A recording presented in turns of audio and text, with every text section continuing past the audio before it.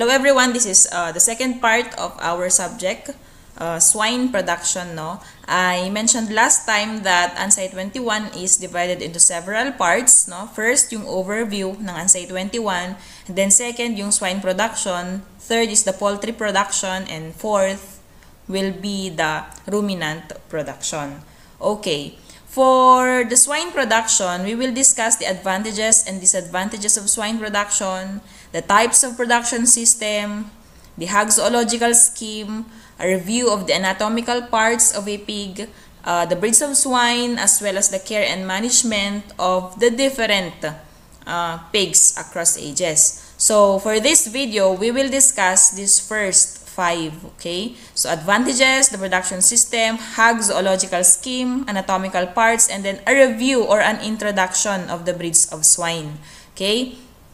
So, let's start our uh, discussion. No? We have here advantages and disadvantages of swine production. So, uh, pigs are known to be efficient feed converters. No, um, we know or we, we can determine feed efficiency or feed conversion efficiency by determining the amount of body weight or the body weight rather we uh, divide it no by uh, the amount of feed given no so if the body weight is uh, um, heavy okay you have a heavier body weight divided by just uh, an amount of feed the higher the body weight and lower amount of feed, you have a good feed efficiency. But if you need a greater amount of feed to produce 1 kilogram body weight, then that would be a lower feed efficiency. Okay? So we have to have high feed efficiency. Okay? Feed conversion efficiency is the uh, inverse of feed conversion ratio. When we say feed conversion ratio, that is the amount of feed given to produce uh, a kilogram body weight. Okay? So, yung pigs, binigyan mo lang ng pagkain, right amount of feeds at the right time, with the right composition, you will have profit na. So, efficient feed converter sila. Hindi tulad ng native pigs. By the way, this is, uh, this efficient feed converters is uh, uh, applicable or very much uh, uh, um, a characteristic of white breeds, no? Yung mga purebreds natin, okay? Uh, sa native pigs, they are not uh, very good, efficient con uh, feed converters because uh, kahit pakainin mo sila ng matagal na matagal, kahit pabinigyan mo sila ng madaming pagkain, matagal silang lumaki. Okay? So, uh, another is prolific. Ibig sabihin, uh, marami silang mga anak in just one farrowing. As compared to ruminants, yung ruminants nanganganak lang isang beses ang taon, most especially for uh, in the case of cattle. Sa cattle, ang gestation period nila uh, almost or approximately 9 months. Pero uh, from that period, no, isa lang ang magiging anak nila. Minsan dalawa, pero normally, isa lang yung anak nila sa isang anakan. Sa baboy kasi, they have a litter size of uh, 10. Yung, yun yung average. So, maswerte ka na kung meron kang 12 na piglets sa isang anakan. Okay? So, prolific sila. Marami silang mga anak.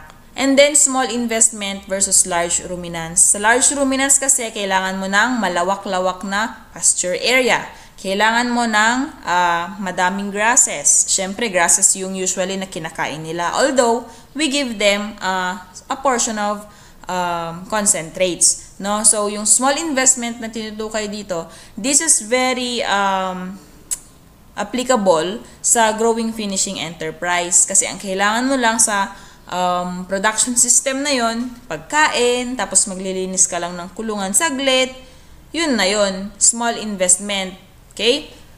Hindi ka masyadong nangangailangan ng malawak na lupain para magkaroon or mag-alaga ng baboy. Okay? So, salvage values are high. Ano ang ibig sabihin nito? Ibig sabihin nito kahit hindi na nanganganak yung baboy, kahit matanda na yung baboy, kahit konti na lang yung um, ipinapanganak ng baboy, pwede mo pa rin siyang ibenta. Ibig sabihin, may profit ka pa rin. Bakit?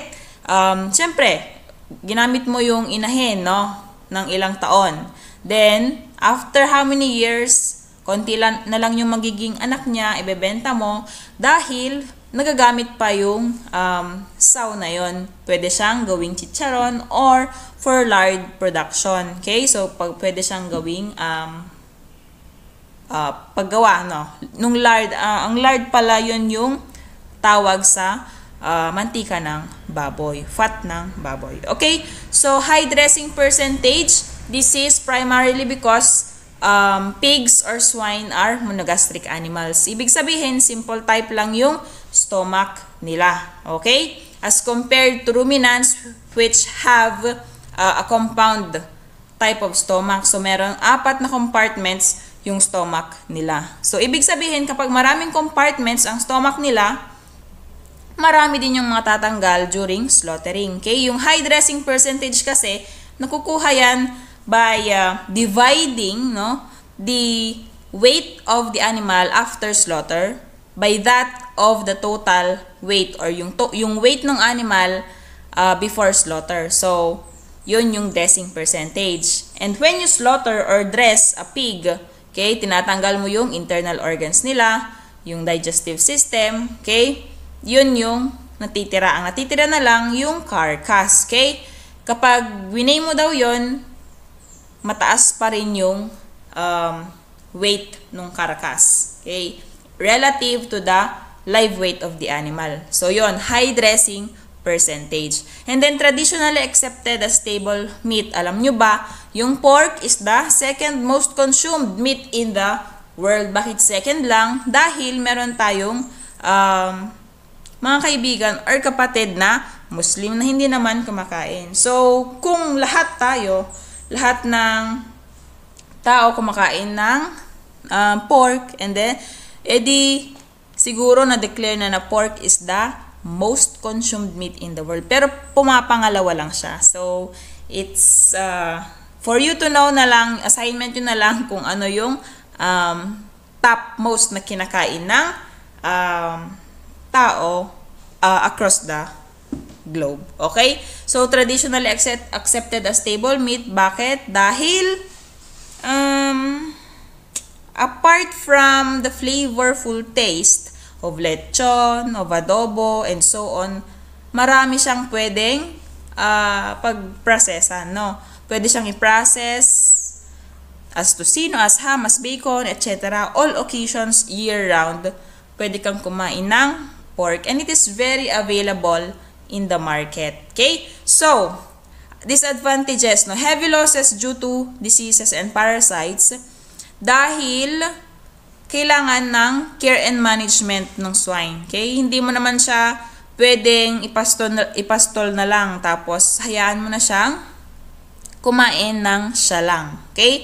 So, heavy losses due to, due to diseases and parasites can be avoided if there is good management ang tinatawag. Okay? Kailangan mo siyang paki, pakainin sa tamang oras ng wasto. Dapat uh, pakainin mo siya. Hindi siya dapat nalilipasan ng gutom. Dapat malinis ang kulungan. Kung nagkakasakit, uh, gamutin. Yon yung ibig sabihin para maiwasan yung diseases and parasites. No. Feed adulteration and supply. Okay? Dahil um, mahal ang uh, cost ng feed ingredients, okay, to formulate feeds or process feeds, usually, okay, ini-import, na, ini-import natin sila. Dahil mataas din ang importation fee, edi ang nangyayari, usually yung mga feed companies, di, syempre hindi naman natin alam kung ano talaga yung composition ng feeds na binibili natin. Okay, although nakalagay naman dun sa feed tag yung feed ingredients. Pero, alangan naman na chinecheck pa ng farmer, ano kaya ito, to, um, tama ba yung mga pinaglalagay ng feed companies. Syempre, hindi naman, di ba? So, feed uh, adulteration and supply, there were studies, no, conducted by various researchers na meron talagang nangyayaring feed adulteration. So, ibig sabihin, uh, kunwari, ang uh, dapat na ilagay ay ganitong amount of rice bran or copra meal or fish meal or soybean meal, binabawas, may, may mga part na binabawasan nila yung uh, amount or quantity nung feed ingredient na yon. Pwedeng pinapalitan nila ng substitute although hindi nila dinedeclare doon sa feed tag. Okay? So, feed supply is also a factor Bakit? Siyempre, mahal nga yung uh, presyo ng feed ingredients. Okay? So, tumataas din yung presyo ng feed supply, which affects now your profit as a pig raiser. And then, fluctuating uh, prices, no? Yung yung presyo ng baboy, nag-iiba-iba yan uh, throughout the year. Bakit? Hindi natin alam kung sa, kailan tataas ang supply, kailan tataas ang demand. Although, alam natin na tuwing Pasko, tuwing my birthday, tuwing my wedding, tu may mga special na okasyon, ang una nating naiisip na bilhin, of course, baboy. Okay? Um, pero, dahil sa panahon ngayon, aside from the pandemic, nangyayari na rin yung meron na ring ASF na outbreak. Okay? Which affects the supply of pork. So, kapag mataas yung supply ng pork, syempre bababa yung presyo ng baboy. Pero kapag mababa yung supply ng pork, tulad ngayon na may ASF, na mayroon ding pandemic, na mahirap mag-transport ng pig from province to province dahil kailangan, kailangan ding mag-swab ng mga uh, traders, ng mga drivers, kailangan din nilang um, i-transport, mahal din ang gasolina, and so on. Maraming mga factors na i-consider sa paglalatag ng presyo ng baboy. Kaya fluctuating ang prices dahil hindi natin alam, maybe uh, months from now, merong uh, program na ginagawa yung DA, importation or repopulation of hogs, so maaring bababa na naman yung presyo ng baboy. But as of the moment, mataas pa rin yung presyo ng baboy nung live weight as well as yung presyo na rin ng pork. And then, high labor requirement during farrowing, um, yung mga white breeds natin, um, nangangailangan ng farrowing assistance. Hindi tulad ng native pigs na kaya niyang mga anak mag-isa.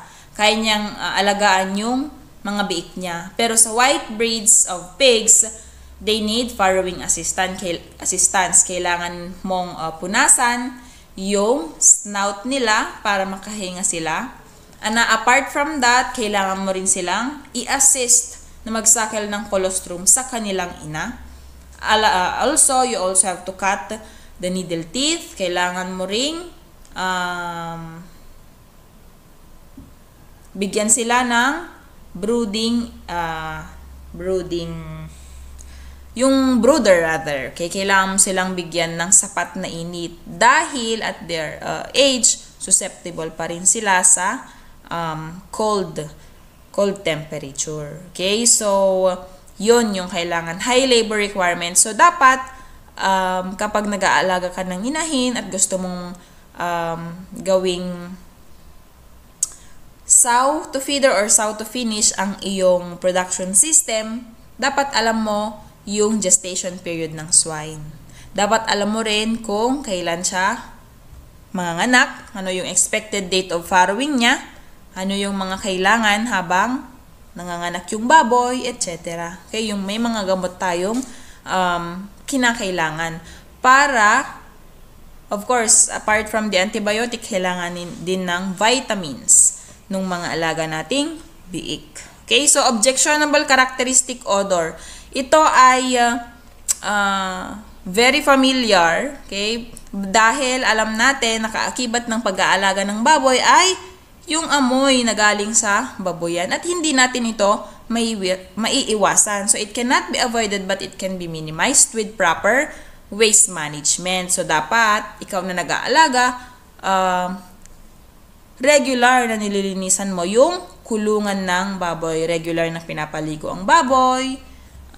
Tapos, uh, dapat malinis, no? Yung kulungan niya. Kasi ang baboy, actually, hindi naman talaga madumi ang baboy, eh. If you are, if you are to notice, no, yung baboy, pinipili niyang higaan yung malinis na parte ng kulungan. Ayaw niya sana ng um, nadudumihan yung parte ng katawan niya. Okay? Yun yung characteristic ng baboy. So, yun yung advantages and disadvantages ng swine production. Okay? Next, we proceed to the types of production system. So, we have three general types of production system. Number one is the sow herd enterprise. Pangalawa ay growing finishing. Pangatlo ay bore for hire enterprise. So, isa-isahin natin. Yung sow herd enterprise, um, nagsisimula ka sa isang gilt or sow or pregnant gilt. Yung, preg yung gilt, so, alam na nalaman ninyo sa Ansay 20 kung anong ibig sabihin or ano yung difference ng guilt and sow. Yung guilt, siya ay um, gagamitin mong inahin. So, ibig sabihin, hindi pa siya nanganak. Okay? Pwedeng buntis siya. Uh, pwedeng uh, bubuntisan pa lang. So, yun yung gagamitin mong um, breeder stock. Okay? So, yun yung starting material, yun yung gilt. Ang sow naman, nanganak na. Yun yung ibig sabihin, yun yung difference. Yung gilt hindi pa nanganak, yung sow nanganak na. So, yun yung ibig sabihin ng uh, gilt versus sow. So, in a sow herd enterprise, we start with a gilt or a sow. And then from there, manganganak after for, uh, 114 days manganganak yung sow or yung gilt. Oh, syempre, sow na yung tawag doon dahil nanganak na. Okay, so we have farrow to feeder. Okay, from the sow, nanganak, may piglets, may biik, ibebenta mo yan pagka walay. Okay? Kaya tinatawag na feeder pigs or winlings. Okay? Feeders. Farrow to feeder yung operation. Kapag yung mga ibiik, ibebenta mo as feeder pigs or winlings or winners. Okay? Next, farrow to finish ang tawag kapag yung biik ng inahin ay palalakihin mo as fattening pigs. Ikaw mismo na nag-aalaga yung magpapalaki hanggang sa maibenta. Yun yung farrow to finish. Yung farrow to breeder operation, yung uh, inahin mo, manganganak ng biik. Ang biik, palalakihin mo hanggang gawin mo ulit na uh, breeder stock. Okay? Gagawin mo ulit siyang inahin. Or kapag lalaki, gagawin mo siyang boar. Okay? Yun yung ibig sabihin ng farrow to breeder. So, anong difference ng farrow to feeder? Ibebenta mo kapag piglets na. Kanino mo ibebenta? Doon sa next na type of production system. Doon sa pig raiser na nag-e-engage sa growing finishing enterprise. So, ano naman yung growing finishing enterprise? Ang starting materials mo dito ay yung binili mong feeder pigs, winlings, or winners from the soured enterprise. And then, ikaw na nag-aalaga, palalakahin, palalakihin mo or patatabain mo siya hanggang ma-reach na yung 80 to 95 kilograms. Usually, binebenta natin siya 4 months uh, pagkakuha or pagkabili natin, no? 4 months after pala. 4 months after we buy them or purchase them from the sow herd enterprise. Okay.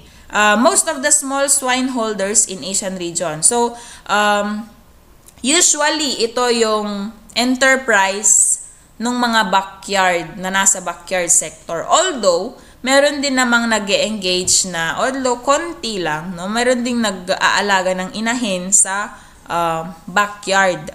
Okay, backyard sector. Okay? So, bakit? Bakit ito yung most? Because of limited financial resource and technical know-how. Dahil ang gagawin mo lang sa growing finishing enterprise, okay, bumili ka, meron ka ng piglets, tapos dapat may kulungan, uh, comfortable and convenient na kulungan para sa mga biik mo. Then, pakakainin mo lang, lilinisan mo lang yung kulungan, yun na yun. Tapos, pagka uh, raan ng apat na buwan, pagkabili, ibebenta mo na siya. Okay? Then, meron ka ng kita. Okay? Yun lang yung kailangan kasi sa growing finishing enterprise. Bakit? Kasi, dito sa Earth Enterprise, marami kang ginagawang, um, dito na nangyayari yung pagbibigay ng vitamina, ng antibiotic, ng uh, vaccine, etc. Okay? Da, uh, mat, medyo matrabaho yung sow herd enterprise natin. Dito sa growing finishing enterprise, uh, mas magaan. Okay? Mas magaan as compared to the sow herd enterprise. So profit is influenced by of course the availability and continuous supply of good quality feeder pigs. Okay? Siyempre, dapat meron ka munang B8 na alagaan bago ka magkaroon ng profit, no?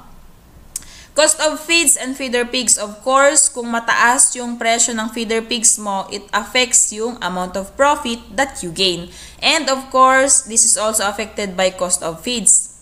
Gaya ng sabi natin kanina, mat, uh, yung feeds kasi, um, mahal yan, Pero, siyempre, nasa grower to finisher stage ka na, um, mas mura yung presyo ng feeds for growing finishing enterprise versus yung feeds na pinapakain natin dun sa sow herd enterprise. Okay? Um, what else? Yung feeds kasi, it constitutes or comprises 75% of the production, cost of production ng swine. Okay? And then, capacity of operator in avoiding losses from diseases, pests, and other animal uh, problems. No? Itong part na ito, hindi na masyado. No? Kung alam mo lang magpakain ng baboy ng wasto sa tamang oras, at saka, yun, pinapakain mo lang naman siya at nililinisan yung kulungan, um, Actually, low, lower level of management lang yung kailangan dito as compared sa sow herd enterprise. Okay? hindi masyadong uh, technical. Okay? And of course, last na nag-affect sa profit is price. Okay? Sabi natin kanina, fluctuating yung price ng baboy. Okay? And maraming factors na nag-affect of course sa presyo ng baboy. Okay? Uh, advantages and disadvantages. Advantages, faster rate of capital turnover than the sow herd enterprise because Pagkabili mo, pakakainin, then after 4 months, kapag na-reach na niya yung slaughter weight, ibebenta mo na. Meron ka ng kita. And then sa sow piglet management problems are avoided, gaya ng sabi ko kanina, konti lang yung management problems na na-encounter sa growing finishing enterprise. Dahil, I repeat, magpapakain ka lang, lilinisan mo lang yung kulungan, bebenta mo, pagka na-reach na niya yung slaughter age or slaughter weight, meron ka ng kita versus sa sow herd management or sow piglet, no?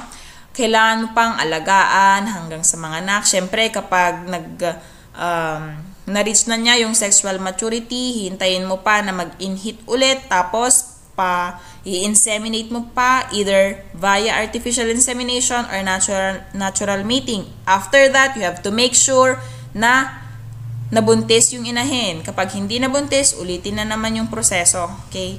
So, yun, maraming um, maraming uh, activities doon sa sow herd enterprise. Next, high penalty for slow growth due to substandard management. Of course, hindi naman lalaki yung uh, biik kapag hindi naalagaan ng maayos. When I say naalagaan ng maayos, dapat pinapakain ng wasto, pinapakain sa tamang oras. Okay? Uh, and then, last production system, we have bore for hire enterprise. The producer starts with a young boar, okay? So, junior boar, okay? Which he grows and trains to a breeder age. So, ang inaalagaan lang dito, hindi sow, hindi gilt, hindi pig. Ay, hindi piglet, no? Young boar, okay? Ibig sabihin, young boar, hindi naka-straight. Hindi natanggal yung reproductive organs. Hindi natanggal yung testicles. Bakit? Dahil gagamitin siya as breeder, as breeder stock. Okay? Yung boar, the boar is used to breed the gilts or sows in the community for a fee. Okay? Yung uh, boar dito ginagamit via, uh, via natural mating para i-breed yung nandun sa sow herd enterprise. Yung gilt or sows dito sa sow herd enterprise. Okay, the fee may be in cash or in kind, whichever is acceptable to the customer. Usually, ang binabayad sa bore for hire enterprise kapag ginamit itong bore na ito to breed the gilts no, in the community. Usually, ang bayaran ay one service is to one piglet. Yan ay kapag nabuntis yung inahin. However, yung presyo kasi ng isang piglet, uh, at present yung presyo ng isang piglet 2,600 for the first 10 kilograms and the succeeding 1 kilogram ay 500, uh, 100 per 1 kilogram yung susunod, no? So, say for example, ang weight ng piglet na binenta mo or na alaga mo ay 15 kilograms. So, 2,600 plus 500, 3,000 mahigit yung bayad ng isang piglet. And if you compute na, yung, yun, na kapag yun yung ibabayad mo sa isang service ng bore, mas mataas. Mas mataas yung ibinayad mo as compared kapag cash yung ibibigay mo. Kapag uh, artificial insemination, ang bayad lang dyan, more or less 1,000. Pero sa isang service lang yon Hindi ka sure kung mabubuntis or ah, hindi yung inahin or yung guilt. Ang mas mataas kasi yung conception rate, mas sure kapag natural mating. But uh, the uh, other side is that, syempre kapag piglet, kapag in-kind, ang in-kind dito, piglet yung ibibigay o ang ibabayad, kapalit ng service from a bore, mas mataas lang yung bayad. Kung pepresyohan mo yung piglet ha, okay, 3,000 mahigit yung bayad. Okay?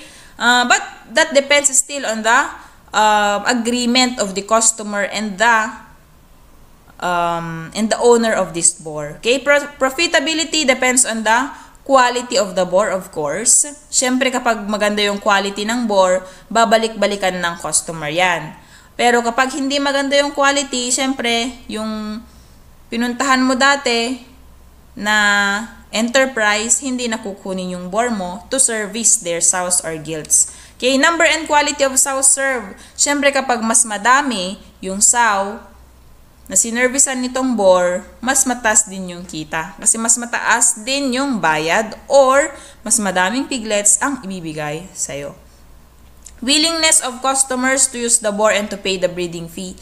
This is related to this, number and quality of sow served. Why? Because uh, yung willis, syempre kung maganda yung quality, nung bore mo, okay, um, babalik-balikan ka nung customer. So, willingness of customers to use the bore and to pay the breeding fee. Capacity of operator, pareho lang nung previous types of production system. Okay? Siyempre, dapat i-maintain itong breeder na to para magamit in the future. Hindi lang iisang gamitan, hanggang sa hindi na siya magamit, dapat uh, inaalagaan pa rin siya. Dapat um, good management pa rin to avoid losses from injuries, bruises, diseases, etc. No? Okay, we have here advantages and disadvantages. Small capital, dahil meron ka lang bore, pinakain mo, kulungan, uh, good management, yon okay na. Fast return to investment. Okay? Yung fast return to investment na to, ano yung ano ba yung capital mo? Binili mo lang yung bore, tapos yung feeds niya, yung housing, yung labor mo. Tapos, syempre, kapag meron, depende pa rin, no? Depende kung babayaran ka in kind or in cash. Kapag in kind, syempre, hihintayin mong mga anak, no? Mga anak yung saw. Kapag in cash, yun, fast return to investment. Dahil, pagkatapos pa lang ng service, babayaran ka na in cash. Okay? And then, supplementary source of income. Okay, itong supplementary source of income, hindi siya primary because syempre hindi naman lahat ng tao doon sa community mo merong guilds or saw. Okay? Kaya may, dapat meron ka pa ring primary source of income. Okay? So, merong mga times na growing finishing enterprise lang yung nandun sa community. So, kapag ito yung ginawa mong primary source of income, There are times, there are months na wala kang kita dito. Bakit? Kasi wala kang guilds or saw na panggagamitan dito sa bore na ito. Okay? Improves pig quality, most especially kapag mala, uh, maganda yung quality ng bore mo. And then, for the disadvantages, heavy penalty for halted operation due to diseases. Kaya maigi na dapat good management pa rin yung um, ginagawa ng pig raiser. Okay? Um, dapat pinapakain ng wasto. Yung mga basic lang, pinapakain ng wasto, inaayos ang kulungan, linilisan, kapag nagkakasakit, gamutin agad, etc. Okay? Mm. And then, mismanagement could ruin swine in the community, swine industry in the community. Okay? Careless management, of course, dapat may gain mo pa rin yung trust ng mga customers mo. Okay? So, dapat good quality. Okay. Must be maintained. Good quality of the boar must be maintained.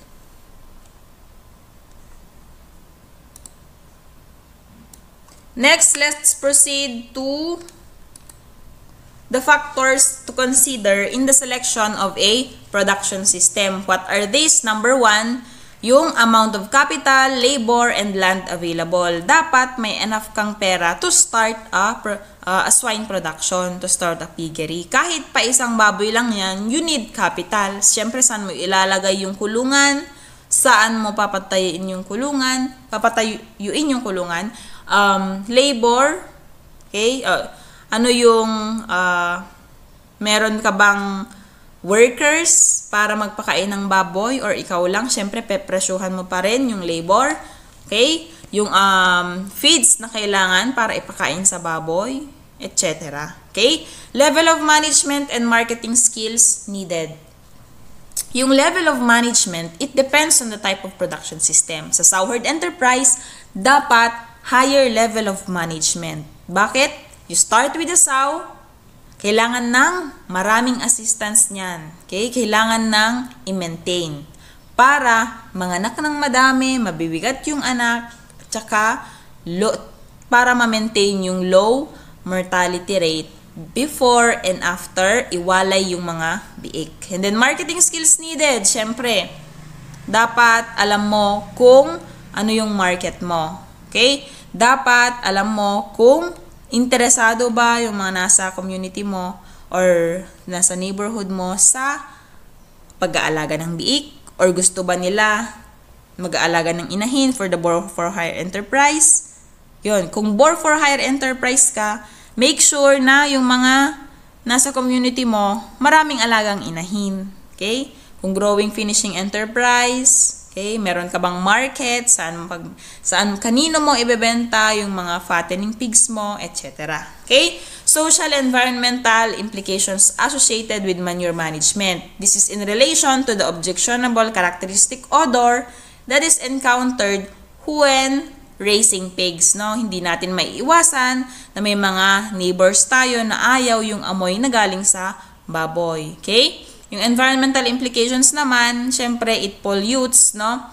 Yung air quality. Although, maraming uh, interventions na pwedeng gawin to minimize this.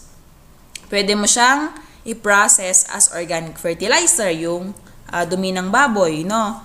Para maging pataba sa mga halaman mo. Okay? Yun yun. Pwede mo rin siyang gawing uh, pagkakakitaan. Okay? Pwede mong ibanta yung nagawa mong organic fertilizer. Tulad ng bokashi. Okay? If you are familiar with the bokashi fertilizer. Okay. Next, we have the Hag Zoological Scheme. It's just a review of your uh, ANSI 20.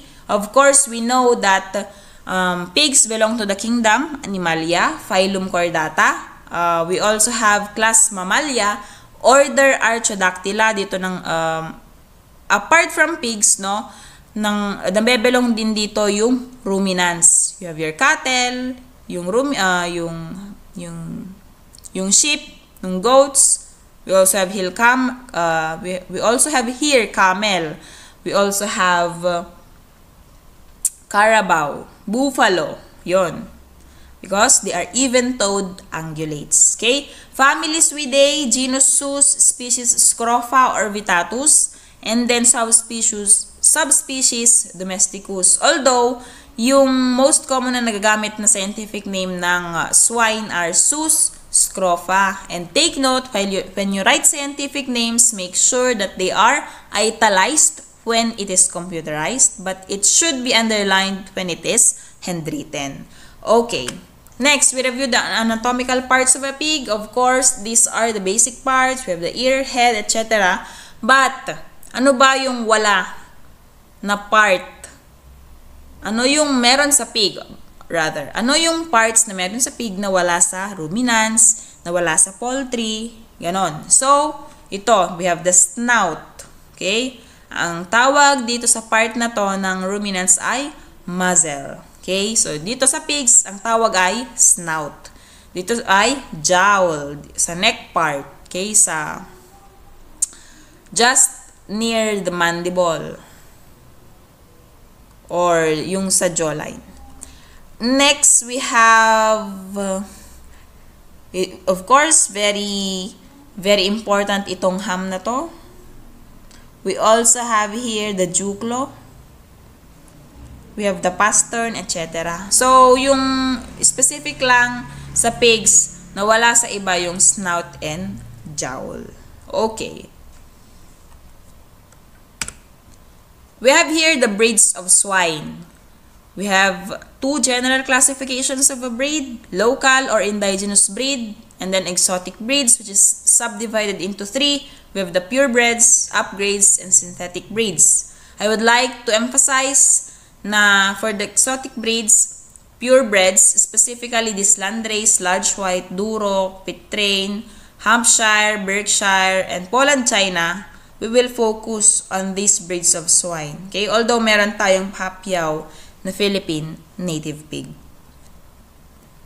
By the way, ano ba yung difference ng local and then exotic? Kapag sinabi ng nating local or indigenous breed, dito talaga sa Pilipinas sila nag-originate or na-develop. Ang exotic breeds naman, sa ibang bansa sila na-develop or nag-originate. Okay. First, we have a local or indigenous breed known as the Philippine native pig. Of course, saan yung origin ng native home? Sa Luzon, Negros Island, or uh, parts of Visayas, and then Mindanao. So, across the Philippines siya. So, characteristics, it has coarse, thick, black coat color with a dispersion of silvery white hairs on their sides. So, black sila. And then, yung sa male, longer body and tail, and we have presence of tusks to, ito yung tasks na sinasabi. Okay? So, nakakatakot ano, yung itsura.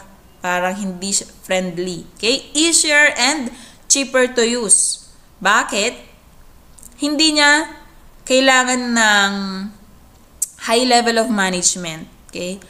Because, sabi ko nga kanina, kahit hindi mo na siya i-assist na mga anak, kaya niya yung sarili niya. Okay? Guilds exhibit signs of sexual maturity as young as 4 to 5 months.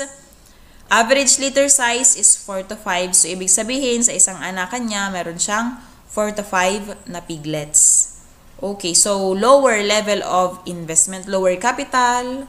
Pero, kahit pa easier and cheaper to use, mas matagal siyang alagaan, kahit nare-reach na niya ng yung 8 months, 60 kilograms pa rin siya. So, rarely lang na nakaka-reach siya ng 100 kilograms or 90 kilograms. Kahit pakain mo, siya, mo pa siya ng marami, kahit uh, maganda pa yung kulungan, yun yung disadvantage or major objection ng Philippine native pig. No? Characteristic na niya yun. So, maliit sila, uh, itim yung kulay nila, tapos, yung mga lalaki kapag matatanda, ito, meron silang tasks. Okay? Low feed conversion efficiency.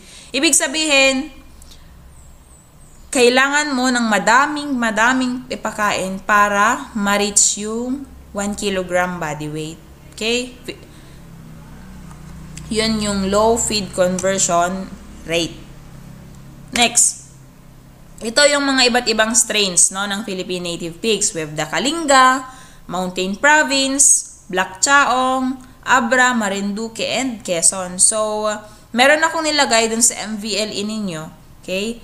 Uh, a discussion on Black Chaong and Kalinga native pigs because these two, these two strains, ito yung usually studied, no?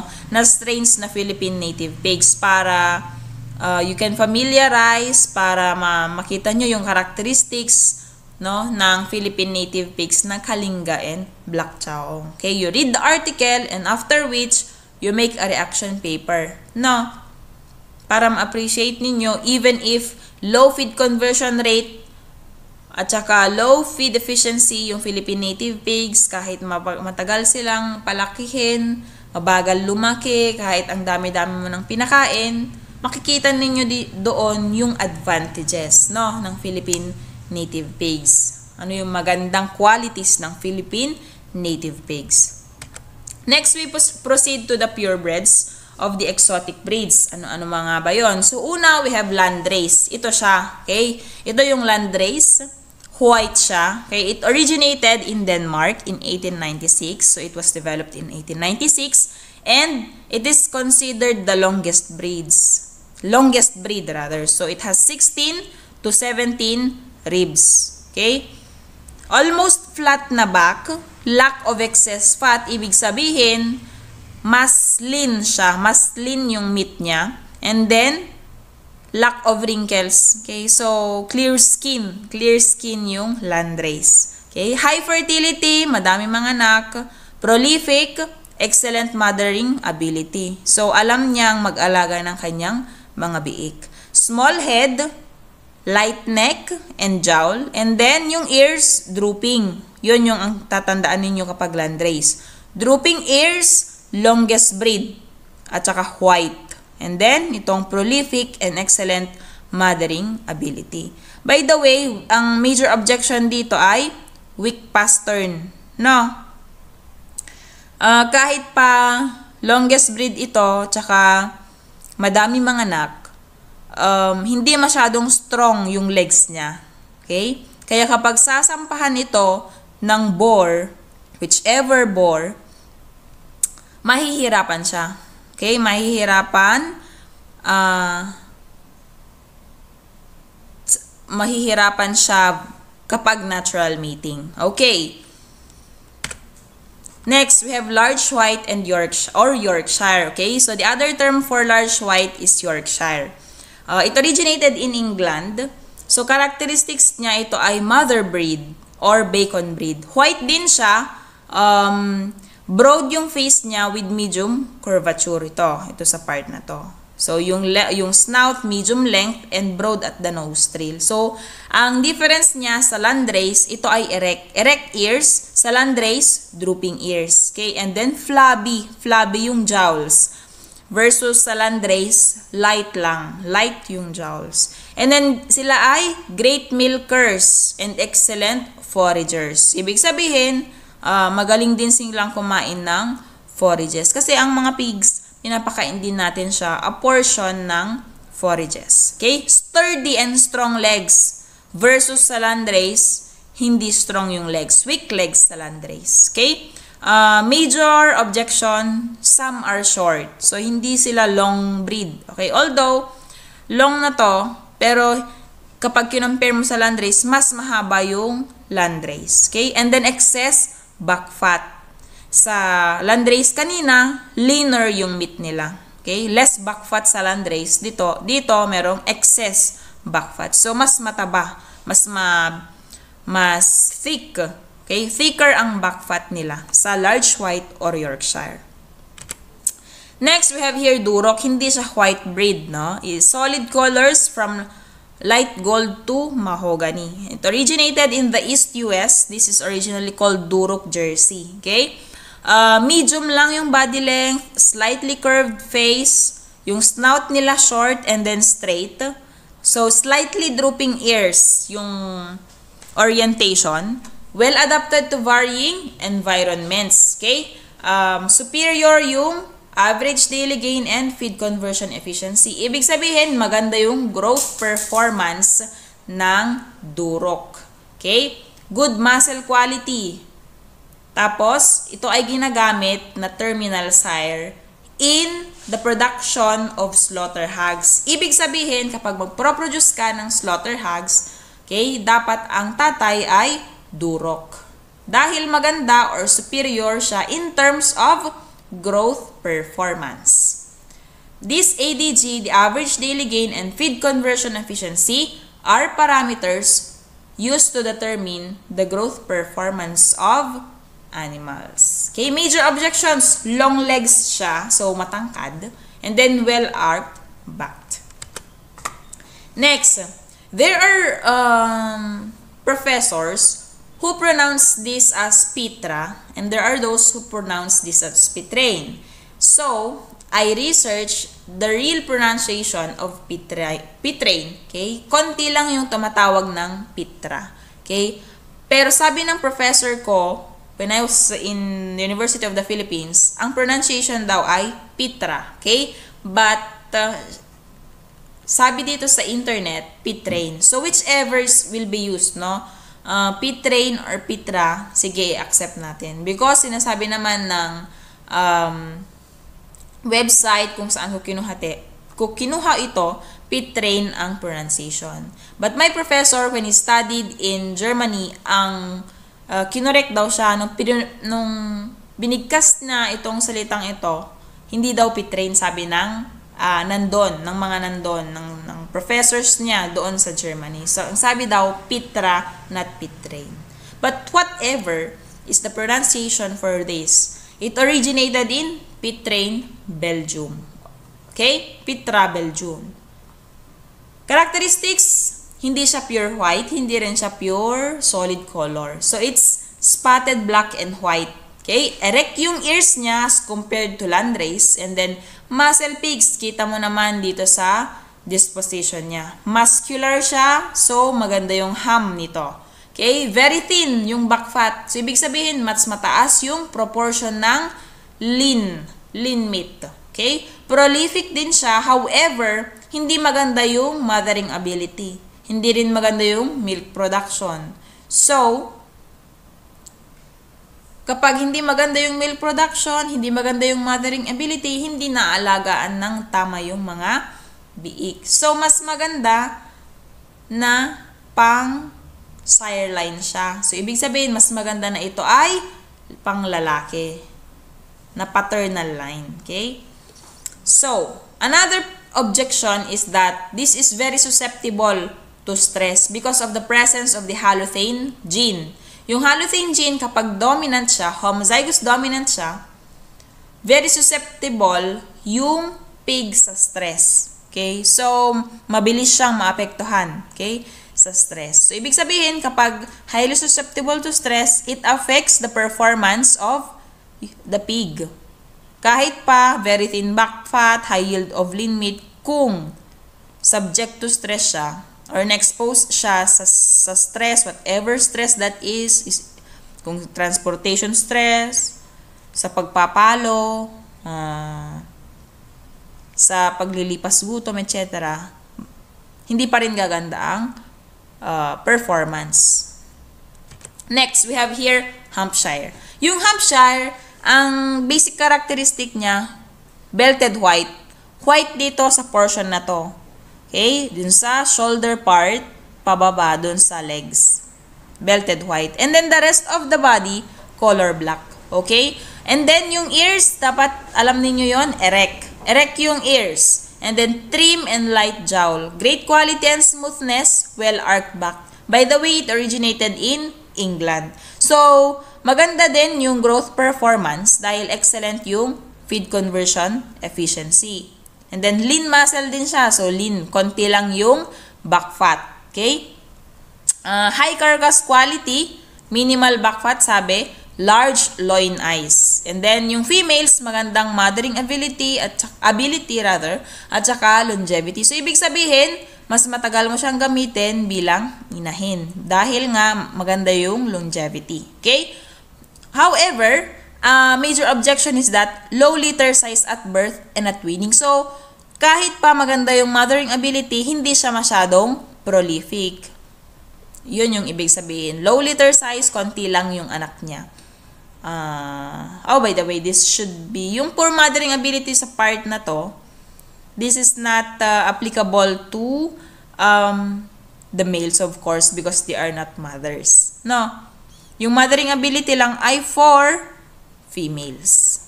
Next,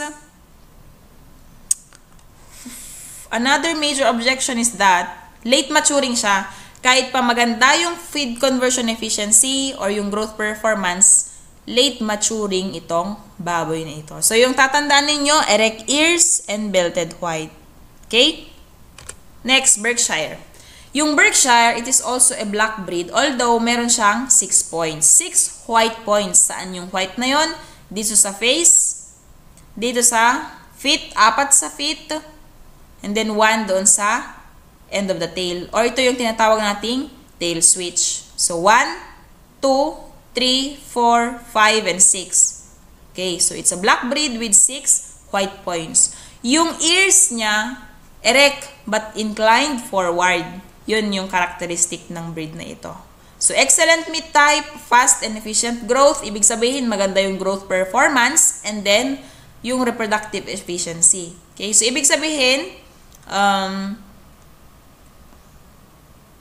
uh, efficient sa in terms of uh, reproduction. Ibig sabihin, mabilis siyang uh, makonceive. Pero, even if so, smaller lang yung litter size niya at birth and at weaning. Okay? So, cleanness and meat flavor and value, long-bodied din siya, katulad ng landrace. Pero, mas mahaba pa rin yung body length ng landrace because of the presence of the extra pair of ribs. Okay? Thick back fat. Thick back fat siya, hindi siya masyadong uh, uh, malin, no? And then, I don't know if why they put black skin as a major objection. Maybe because uh, consumers prefer white breeds. Pero hindi naman nakikita kapag binenta na yung pork, no? Kung black or white yung skin. Okay? Next, Poland, China. This originated no, or deve- was developed in Ohio in the early 1800s. Yung characteristic nito, pareho nung Berkshire.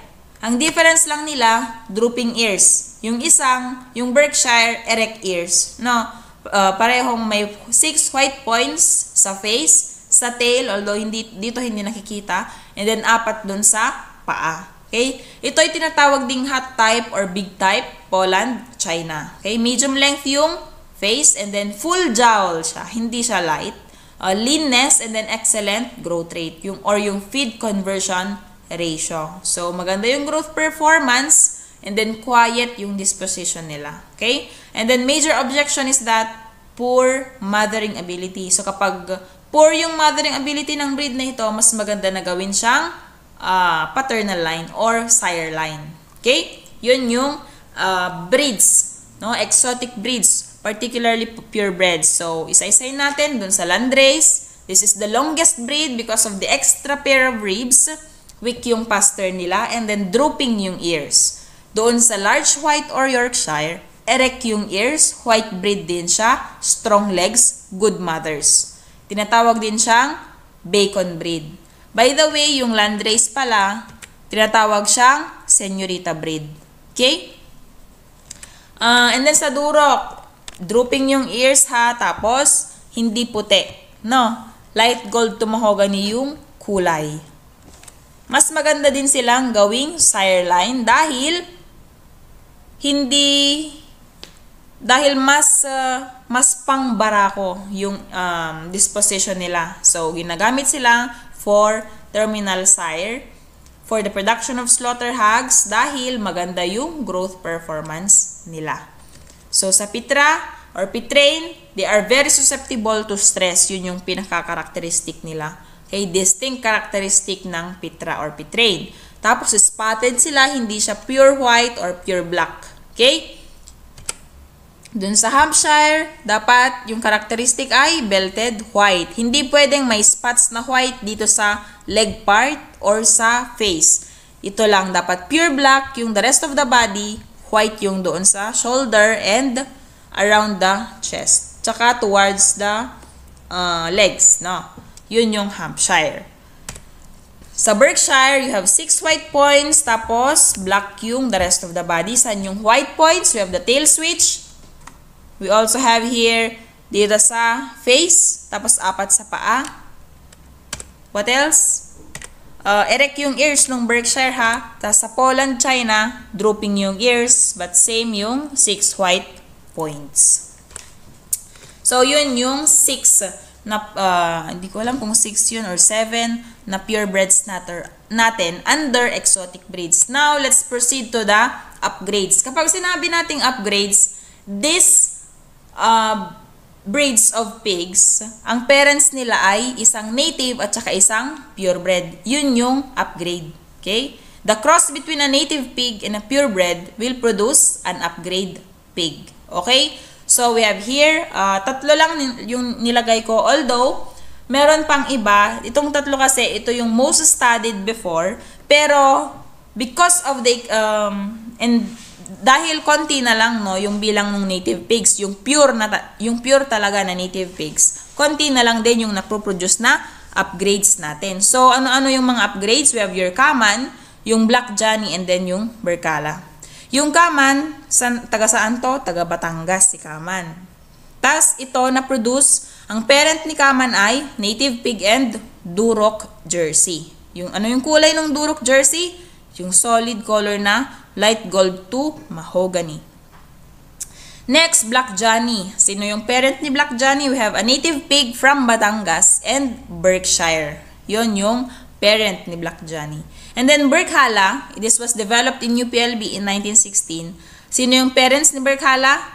Yung native pig from Hala-Hala Rizal and then Berkshire. Kaya na-produce yung name na Berkhala. Berkshire and native pig from Hala-Hala Rizal.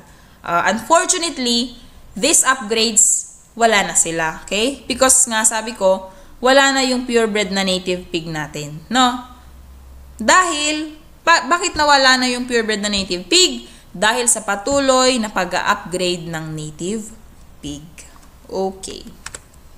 So, yun lang yung uh, content ng presentation. Um, I hope you learned something. Thank you for listening.